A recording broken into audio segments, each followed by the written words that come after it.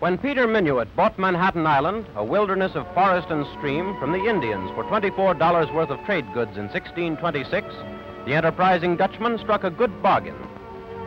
For three centuries later, the investment had increased in value 400 million times, and viewed from the moon, let us say, would appear as a great fungus growth that had slowly spread and consumed the wilderness. But we're getting ahead of our story. By 1660, the thriving Dutch settlement of New Amsterdam had begun to take definite shape at the lower tip of the island. The city's requirements were few and simple a stockade and fort as protection against hostile Indians, storehouses for food and the goods of the West India Company, houses for settlers, a landing place and a recreation center, the bowling green. Governor Peter Stuyvesant's great house was the most imposing structure in the settlement and stood where the custom house now is. Today, the needs of that locality are vastly different and the city has adapted itself to the changed demands. Only the bowling green has left its trace. By 1750, the wilderness had receded. Upper Manhattan had become almost a suburb, but it was a long journey by coach to the Blue Bell Tavern at Broadway and 181st Street.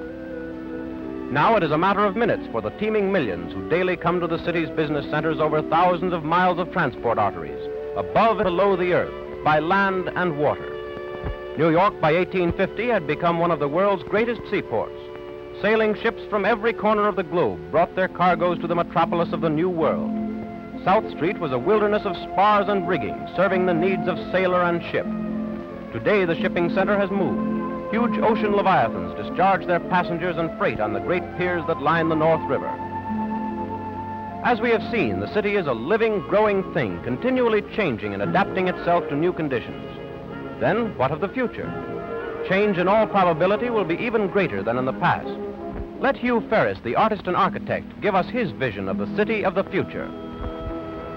Of course, no one can clearly foresee the city of the future. But the appearance of any city, of any period of history, is a direct outcome of the social, economic, and technological conditions then existing. Take, for example, the city of today. A vast conglomeration of skyscrapers and slums. Owners building whatever tenement or tower they please on their own plots. Here is the architectural record of an economic order of laissez-faire and rugged individualism.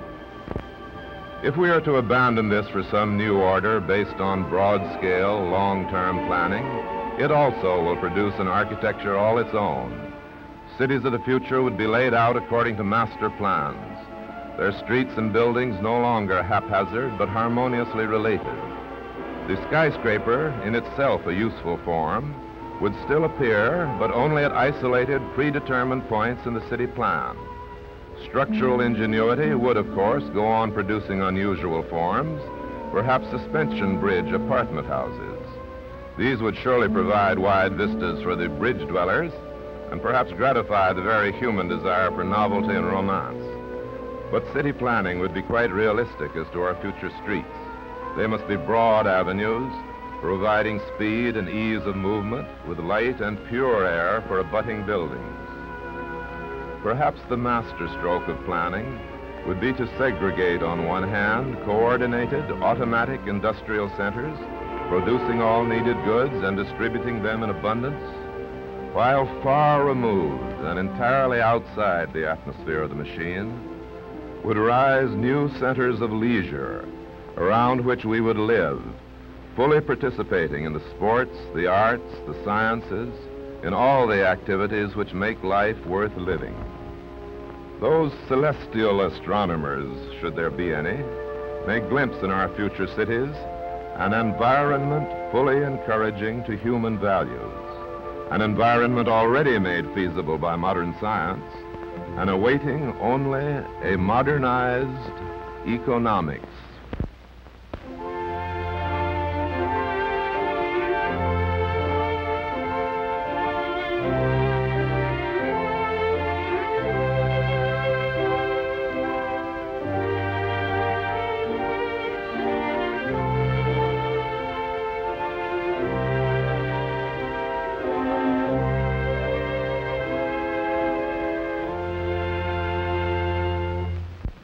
In bus, flivver, or proud Rolls Royce, you may follow the seahorse to Jones Beach State Park. New York's amazing 3,000 acre seaside playground. Parking space is provided for 23,000 cars. A mile long boardwalk with cafeterias, dining rooms, and tea terraces for every purse. Cleanliness is the watchword.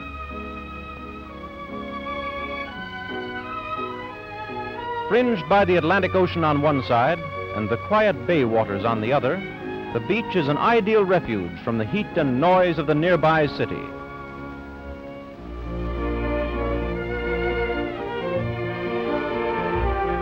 The property of the state for the people's free enjoyment.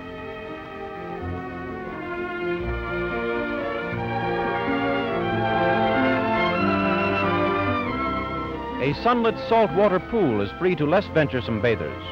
Also a special one for children, where free swimming instruction is given. 1,200 were taught to swim here in 1934. If you go in for this sort of thing, here it is. Every afternoon at 3.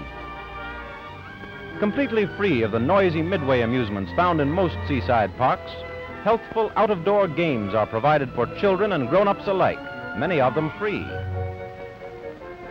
playgrounds under competent supervisors and a sand pile five miles long make it a veritable paradise for children of all ages. Zachs Bay is ideal for small boat and canoe racing. If you tire of crowds and organized amusement, just wander up the beach, which stretches straight and unspoiled for 17 miles. Sun, air, and sea, free to everyone who will take the trouble to seek them a social achievement of tremendous importance. Here is democracy at its best, a milestone on the path our forefathers chose, a reality which gives a glimpse of the golden promise and boundless hope of our America of tomorrow.